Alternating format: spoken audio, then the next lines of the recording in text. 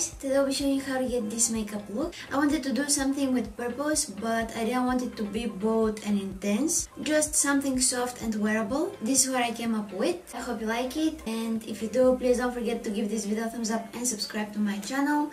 Thank you so much for watching, and let's get started. Okay, so first, as always, I'm starting off with a primer. This is the Catrice Prime and Fine eyeshadow base and I'm buffing it all over my eyelid with a brush.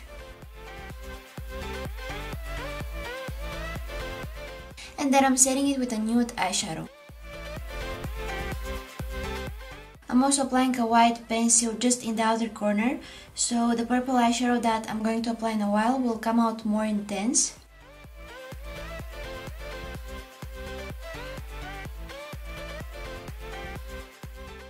And I'm diffusing the edges with a flat brush.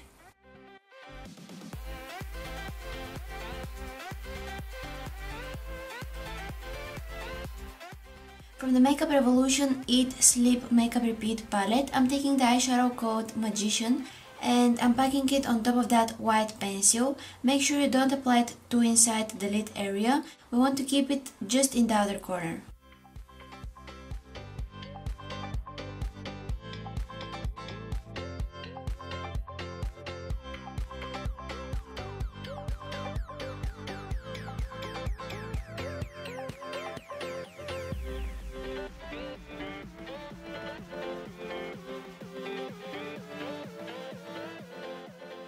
On a blending brush, I'm taking this eyeshadow from the Catrice Absolute Rose palette. I'm using it to diffuse those harsh lines and also as my transition shade.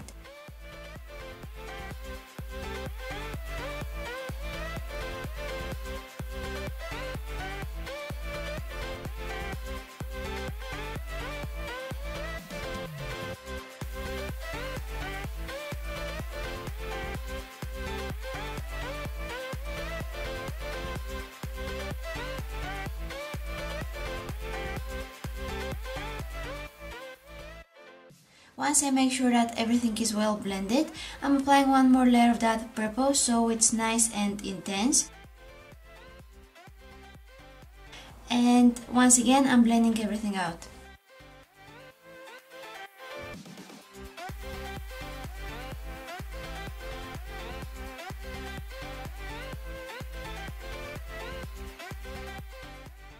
To add more depth to the eyes, I'm applying a small amount of a black eyeshadow just in the very outer corner of my eye.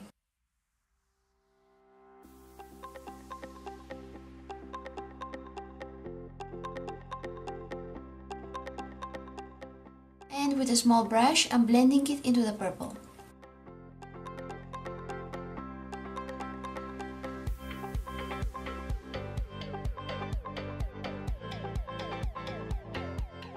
Then in the inner part of my eyelid, I'm applying this light pinky shade.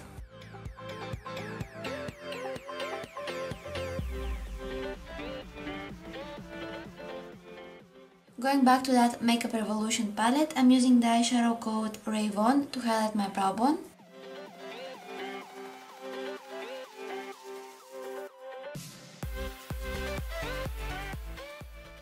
And in the tear duct area I'm applying the eyeshadow called Rave Off.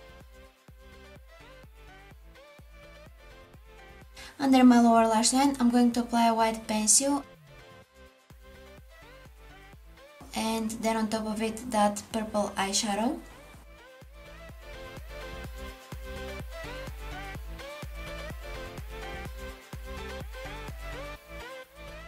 I'm keeping it in the outer portion I'm also going to add some black. Then it's time for eyeliner and I'm using this Essence Liquid Ink Eyeliner. I'm coating my lashes with mascara and after that I'm going to glue on some false lashes. But before that I'm going to run some white pencil in my waterline. So this is the finished look. I hope you enjoy watching this video. Please don't forget to subscribe and I'm gonna see you guys soon. Bye!